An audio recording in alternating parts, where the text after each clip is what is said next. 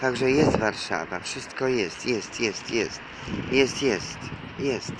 Proszę Państwa, Warszawa. Ile razy się nie popatrzę na ten budynek, to przypomina mi to cerkiew i ona ma coś z cerkwi, prawda? W środku coś wspólnego z tym, że tu nie ma baciuszek w Warszawie, nie ma ludzi prawosławnych i nie ma cerkwi. Przypomina mi to hotel, gdzie Arabowie zaatakowali. Proszę Państwa, ludzi z pokoi powyciągali, rozstrzelali, trupy na holu były, straszne rzeczy.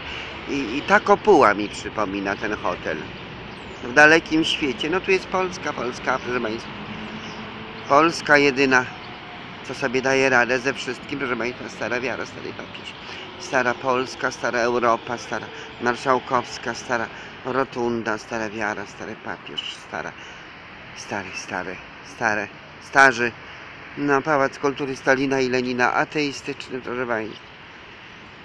Burza miała być i coś, coś, coś udało się Polsce uniknąć tej burzy. Nie wiem, Rosjanie klimat zmieniają, a Polacy też może coś potrafią. Coś, coś, coś. Mają po komunistach coś, coś, coś. Jakoś przetrwali dwie wojny światowe, pierwszą, drugą wojnę światową.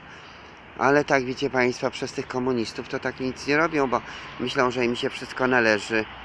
No, Radio Concita. Są autorytarni. Dać im, dać, dać, dać, dać. A potem jak dasz, to ciebie będą mieli za frajera.